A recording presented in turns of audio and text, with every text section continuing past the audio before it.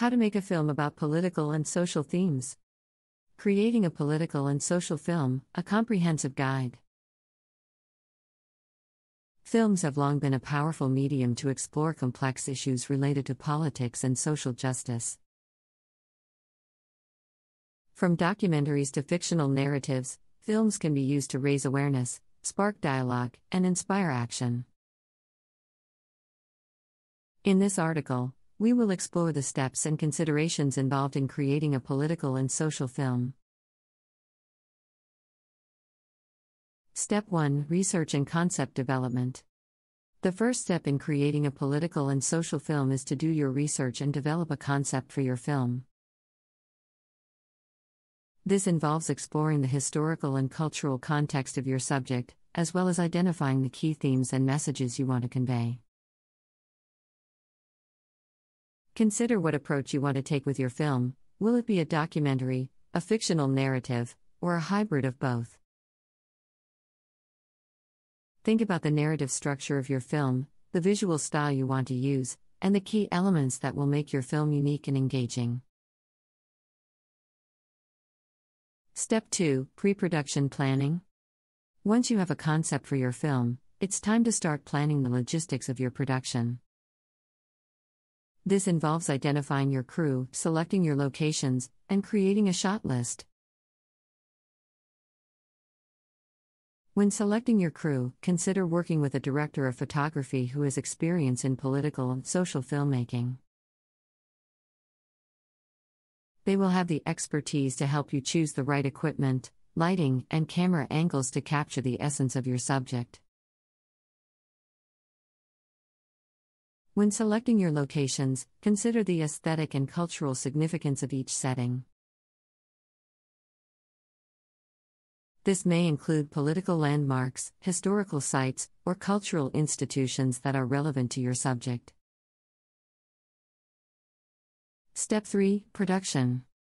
The production stage is where your film comes to life. This involves capturing your footage, conducting interviews, and working with your cast and crew to bring your vision to life. When shooting your footage, consider the lighting, camera angles, and sound quality of each shot. Make sure to capture a variety of angles and perspectives to give your film a visually dynamic and engaging feel. When conducting interviews, make sure to ask open ended questions that allow your subjects to share their perspectives and experiences. This will help you create a powerful and nuanced portrayal of your subject. Step 4 Post production. The post production stage is where you bring all of your footage together and create a final product. This involves editing your footage, adding sound and music, and creating a polished and cohesive visual style. When editing your footage, consider the pacing and rhythm of your film.